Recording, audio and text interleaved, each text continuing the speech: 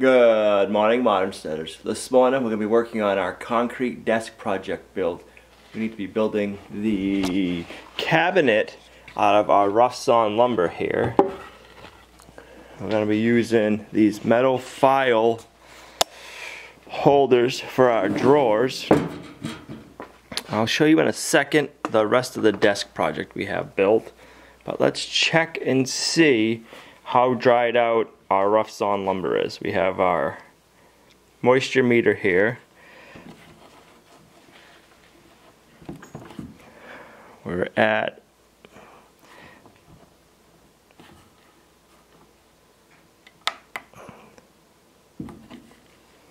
Four point nine percent, and last week we were at twenty in some areas. So I am happy with that. Go upstairs and show you the rest of the desk. So we have our corbel for the support for the concrete desktop on the left side.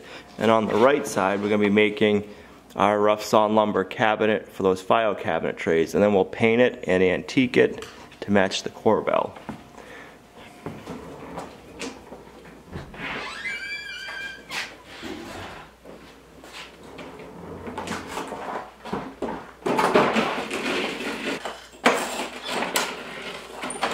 It's a little chilly outside this morning. It's like five degrees out there. So we're gonna do as much work as we can inside before we go outside to do the cuts. But last week, when we cut all of our boards down to a rough length, I kept them long, so that way when they dry up, I know they're gonna shrink. So the first thing we need to do is we need to mark them all out to our overall length, which is 28 and an eighth, and get five of them cut to that length.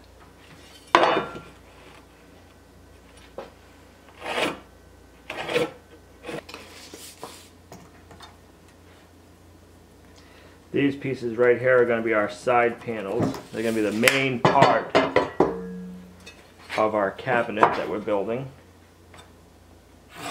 Since our boards are over 8 inches wide, I'm going to be using our DeWalt battery operated skill saw to cut them because of our chop saw. You'd have to flip them over anyway, so let's just keep testing out our new skill saw.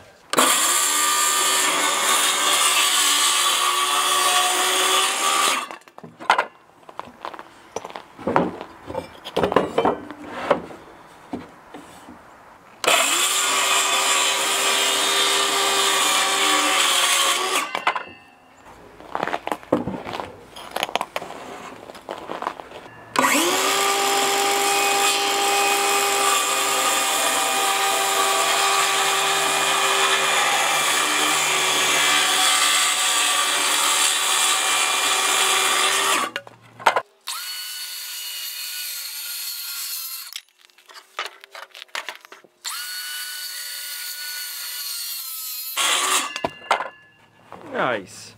I finally replaced the blade on our table saw. It had been dull for a pretty long time. I should have replaced it back when we were building the outdoor kitchen, but I didn't. If you haven't seen our outdoor kitchen project build, I'll put a link to that playlist right here. Now we need two strips two and a half inches wide to finish making our cabinet as wide as we need it.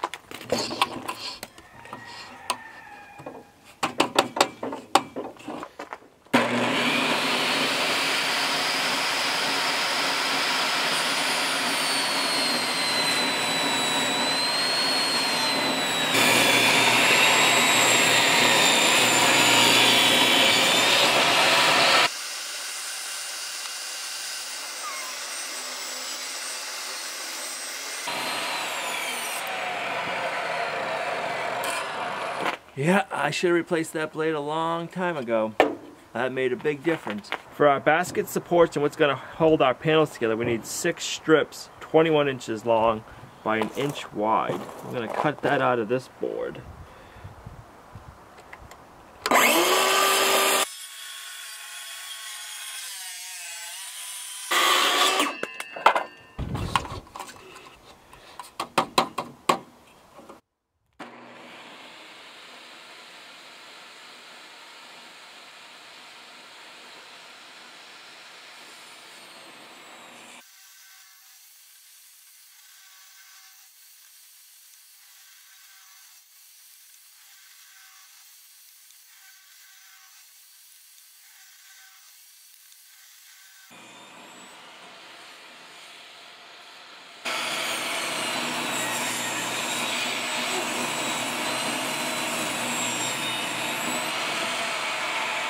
Now we need to get our cabinet sides screwed and glued together. What we're using is our one inch strips that we just ripped down. These are going to serve two purposes. They're going to hold all of our boards together and it's where we're going to put our other boards to make our shelves so our metal bins can have a shelf to set on. A couple of things we need to remember. The front of our shelf, I'm going to have it faced off with a piece of rough lumber. So I need to set our brace boards the width of the rough sawn lumber back from the front edge. And then I also need to pre-drill all of these, only being a one inch wide strip. If I don't pre-drill them and countersink, they'll split. We don't want that to happen. So let's go ahead and mark our layout for our screw holes and we'll get those pre-drilled. To do this, I'm going to use my combination square, lay my three boards together, spacing them roughly an inch off the edge. Then I'm just going to mark where I think we need to pre-drill a hole three holes per board for the wide boards would be nice. We don't want to go too close to the edge. Being rough sawn lumber, everything is not square, which is fine. We want that rough look, so when we're building it, we need to realize it's not perfect, nor do we want it to be perfect. Then on the little edge, I want two, and I just want to mark them I can't have them too close to either edge, otherwise they'll split the board. The nice thing about the new combo kit is I got a drill and an impact driver. I can use the drill to drill out my holes and keep the bit in the impact driver to screw these in place.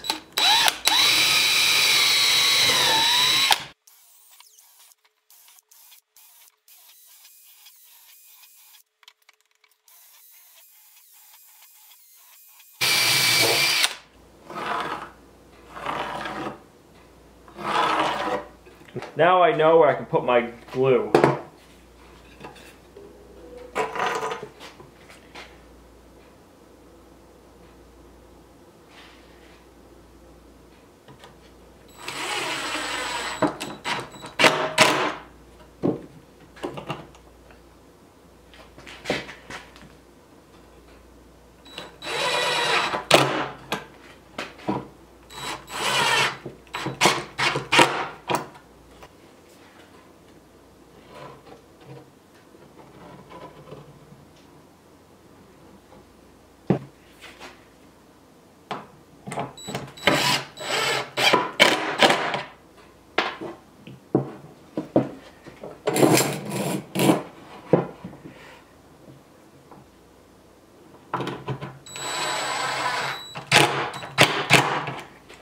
need to mark where my center shelf's gonna go.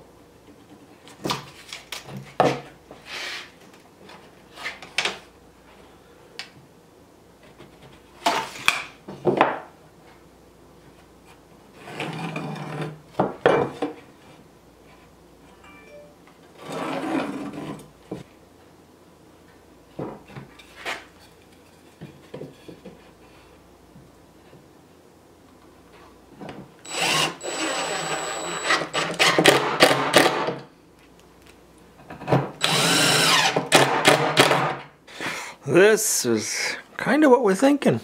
I gotta make the shelves for the bottom one to sit on, shelf for that one, and then the top. That's gonna look nice. Just wanted to make sure the width I had written down was correct, and I like it. Now that I know my width is correct, I can cut all my shelf boards to the correct length, and then I can figure out how many we're gonna need to make the depth. These ones need to be 14 and a half inches long. So we're gonna set our fence.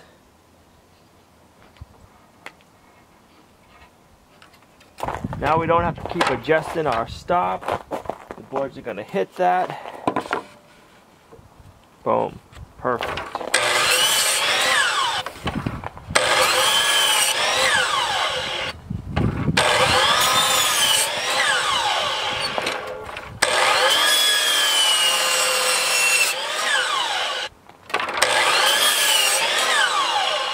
just want to flush everything up and figure out how deep I need my shelves before we start ripping everything on the table saw. It's gonna be like this.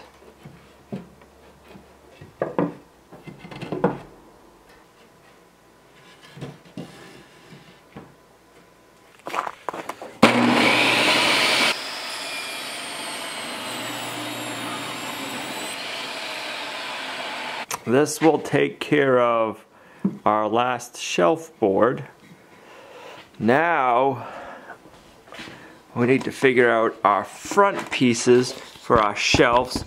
We can get them glued and screwed on to the front of the shelves. I'm gonna figure out how wide we need these. We can do that. That'll look pretty nice. I decided I like two inches for that last front edge strip. I'm just gonna square up our fence, lock it in place, and I'll make two rips.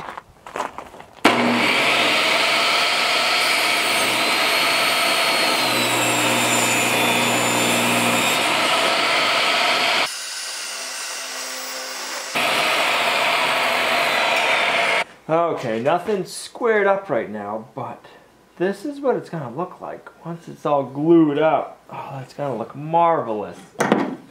I'm excited for that. Let's get the front edge put on the two front shelves. And then our top one is gonna look like this. That's gonna look nice. I'm excited. I like that edge.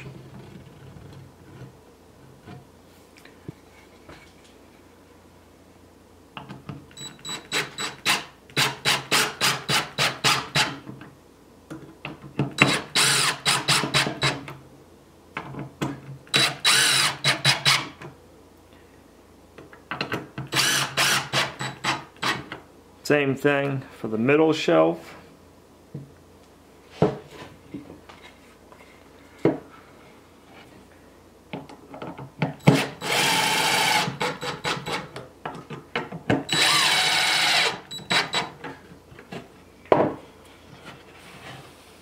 That's gonna make a nice front edge. All right, well that's where we're gonna have to stop today while everything dries. Tomorrow we can assemble it, sand it, and hopefully get some paint on it. I'm getting excited for this desk project. It's starting to look better and better the farther along we get. I'm glad you came along on this build project with us. Thanks for liking, commenting, and subscribing. We'll see you right back here tomorrow at Lumnah Acres, a guide to modern homesteading, self-sufficiency, and freedom. Bye.